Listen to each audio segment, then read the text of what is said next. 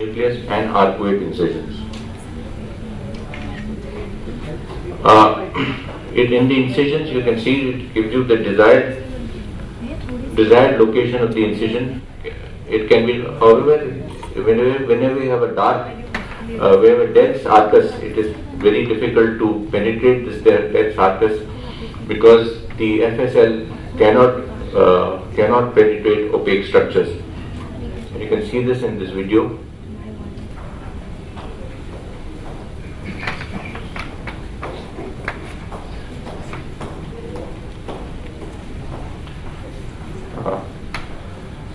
The second is the incisions that become, uh, you, you see that the incisions, I'm sorry, the incisions, now just go back a little, sorry, this is. Uh, this, as I told you, these are the incisions which are, you can see that the incisions in this case are difficult to, we are very difficult because we have an opaque, uh, we have a carpus annulus at the limbus and in these cases you have to make the incisions with finally with the keratome. Although it penetrates uh, partially, the, you cannot penetrate fully because the, the energy doesn't reach, reach the posterior limb. Uh, initially, the incisions were also too corneal. We find that the incisions, incisions are too corneal because uh, the, the 2D representation of the video monitor uh, uh, actually is a representation of 3D structure of the curved cornea and limbus. So we find that the incisions are pretty corneal and therefore what we did was that to avoid this corneal incision we started marking the limbus. You can see that the limbus is marked with gentian violet. And then we can make these and we actually after we make these incisions so that we take them more scleral by actually forcing the incisions to go more scleral on the monitor. Because otherwise sometimes these incisions become very corneal.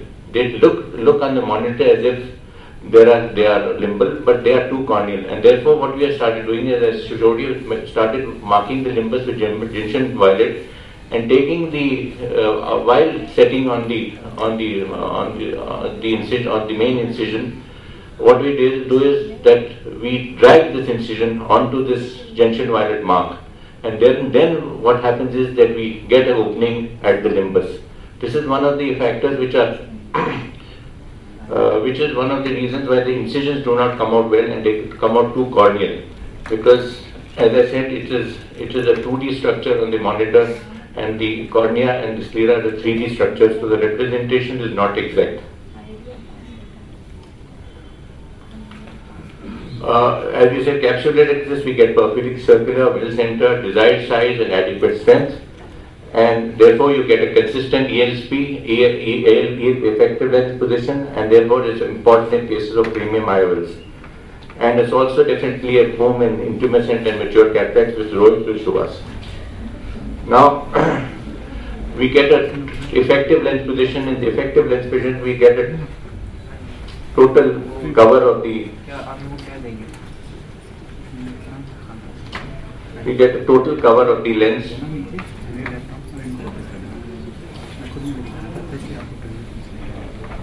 now in an inter intumescent cataract we can see that Argentinian flag sign here. You see the we can see the laser emission now in this mature cataract. And then after this and we are using a grid uh, grid pattern. And then we see that a very nice circular capsulorhexis which comes onto the and we stain it to just to show you what a good capsulorhexis we can get in an intumescent cataract. Absolutely circular. Now for nuclear fragmentation. It reduces ultrasound energy for all gates of cataract. It reduces nuclear softening and also produces planes of cleavage planes in the nucleus. It reduces the over, over, overall phaco energy delivered in the eye and this has been conclusively shown that it reduces the phaco delivered in the eye by about 50%. And even in brown and black cataracts, we found that energy gets, gets reduced as, uh, considerably and therefore it's invaluable even in the even in the brown cataracts. We, earlier it was thought that this was not meant for beyond grade 2 cataracts, but for grade 4 cataracts and leathery cataracts, we also find it very useful. Now this is a grade 4 cataract. You can see that the laser, energy is being emitted and this is the chop and the two cylinder pattern. And you can see that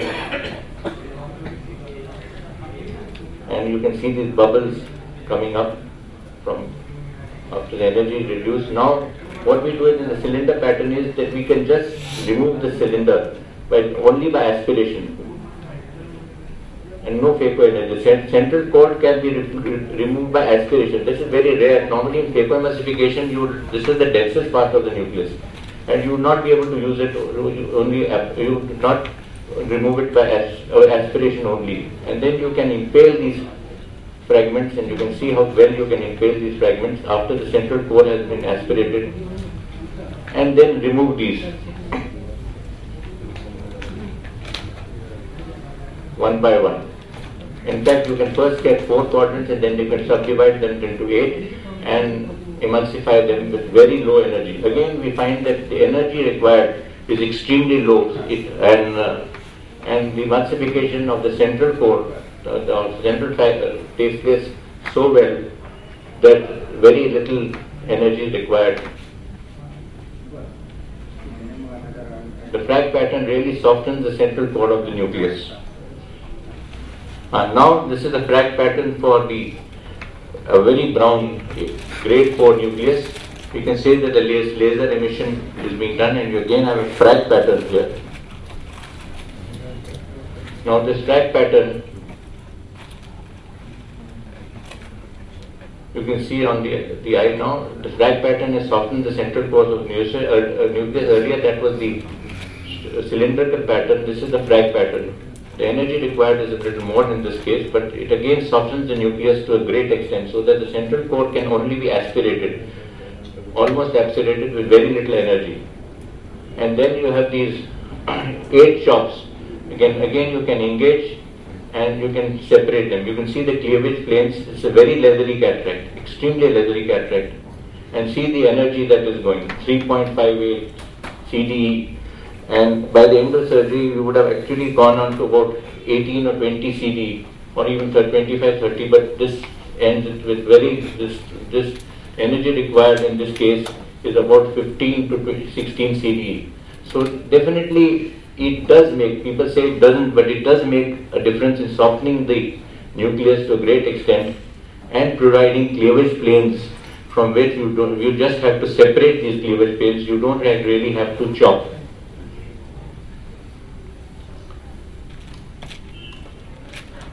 And for astigmatism, you can see now that the laser emission will start. Uh, can show you some, the arcuate incisions, you can correct mild to moderate degree of astigmatism. Now again you can see the laser emission started. And the last to be performed are the arcuate incisions. You can see these beautiful arcuate incisions which are created after the eye is made taut. And they are of exact depth, exact size, exact architecture, and you open them up with a blunt, blunt spatula. As you can see, you can open them up, and up to one to one and a half, half diopters of metal can get corrected with this. So in, in these cases, you don't require a toric lens.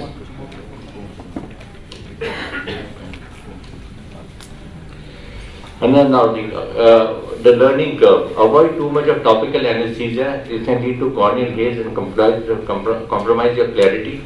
This is very important because I found that if you put too much of Paratane, it, it, and when you dock, after you dock, when you start surgery, your cornea is hazy. Uh,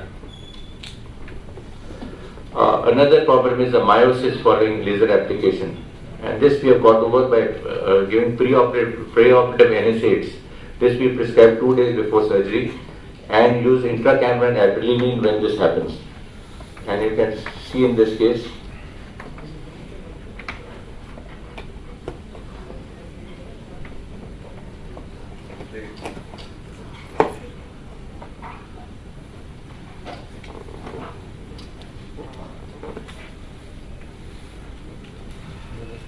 You see that intracameral adrenaline, how the pupil is beautifully dilated after putting intracameral adrenaline. See that? So it was a small pupil and it's dilated beautifully after putting intracameral adrenaline. Again, while opening incisions, you have to be careful because these are blunt spatula and you can have a Descemet's detachment and we'll have, we have had so small Descemet's detachment when we uh, when we open up the incision and there we have to be little careful. If you are not able to able to uh, open up the internal incision, do it with a uh, with a knife rather than uh, push the endothelium and the Descemet's because sometimes that can lead to a Descemet's detachment. Ensure that the capsulorhexis is complete with the needle or the forceps. This is very important so that you know that no tags are left. And then you remove the capsulorhexis with the forceps. Most of the cases now, 99% cases, you get a free floating capsulorhexis, But otherwise, earlier you used to get tags and it was essential to uh, to separate them with the needle so that we don't know, we know where the tag is.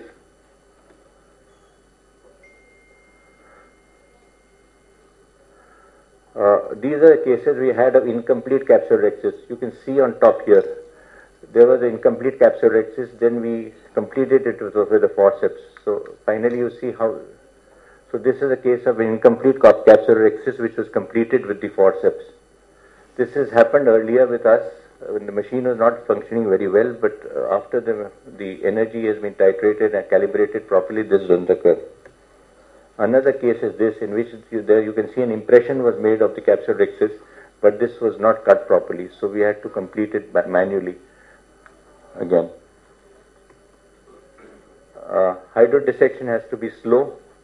As you can see, hydrodissection has to be very slow and controlled, and you inject small, small volume, volumes to decompress.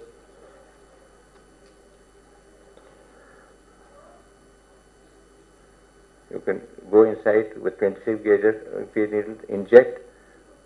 There is uh, the hydro, uh, the fluid, and then compress, and so that the air bubbles come out from the uh, capsule bag and into, into the anterior chamber and you do not have a blowout of the posterior capsule.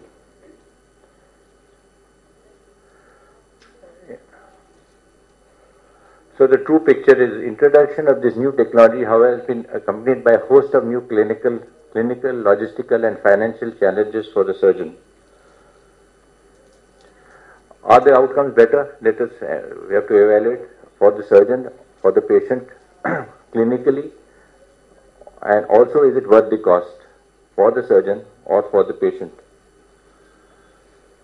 One thing is for sure that if you have the two two uh, two instruments at two places, your phaco theater separate and your and your uh, and the theater where you and where you put your lift, the machine, your femto machine is at two different places. It increases your your time, surgical time.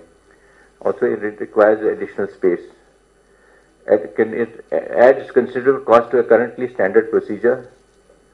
Also cost in terms of time, as I said, in time and also in manpower because you require somebody to assist you in this procedure. It's just impossible that you go about doing it alone. So you require somebody to definitely assist you. Limitations are in cooperative patients, patients with tremors, dementia, deep set orbits are very difficult because sometimes you cannot dock so easily. Nystagmus, again advanced glaucoma, is also a contraindication because in elderly patients with the optic nerve head uh, uh, already compromised, you could be increasing intraocular pressure could lead, lead to a problem sometimes, although in the Catalys they say the pressure rise is less than the LenSx. And pterygium, corneal opacities, OSDs, and poorly dilating pupils are also contraindications. But I think the uh, subsequent speakers will tell us how to how to deal with these these situations. Now, is it likely to replace manual surgery in the future or will cataract surgery skills be reduced or become redundant? These are two very pertinent questions. surgeons basically prefer to, prepare to revert to traditional phacoemulsification methods at any time. So every surgeon has to be well trained in phaco. This is not a substitute. FLACS may now may allow less experienced surgeons to obtain better results. However, good experienced surgeons in good experienced surgeons, it has failed to demonstrate a significant improvement. It is therefore likely to flatten the curve with surgeons attaining similar outcomes across the board. So that is what it will do, that everybody will have similar results. Even the surgeons who cannot perform phaco surgery so easily and can't produce a good capsule, etc., etc., will be able to do it and therefore it will flatten that curve and a large portion of uh, patients will have good results. And this uh, study that we did 122 eyes, uh, we we uh, found and cataracts ranging from 2 to grade 2 to grade 4 we found that 89% about 89 80, 80 84% had uh, UCVA of uh, UCVA with uh, radiator were had, had were, un, with uncorrected vision had uh, the 6 6 or better vision 98% were within, uh, 83% were, were sorry, 83% were within half a diopter of the correction and 98% were within one diopter of the correction the UCA. And what uh, okay, I sum it up by saying that the, the other thing we have noticed is firstly is the uncorrected visual acuity in 98% cases has been within one diopter and within half a diopter about 84% cases and the CD used is how, how we, have, we have also seen that CD used is about 8 compared uh, an average CD of 8 to 9 rather than what we would have used would be 15 or 16 needed a phaco power. Where the incisions are concerned, it's not such a great instrument for incisions, but definitely it is a great instrument for give, give, giving you clear corneas first postoperative day, even in hard cataracts. Thank you very much.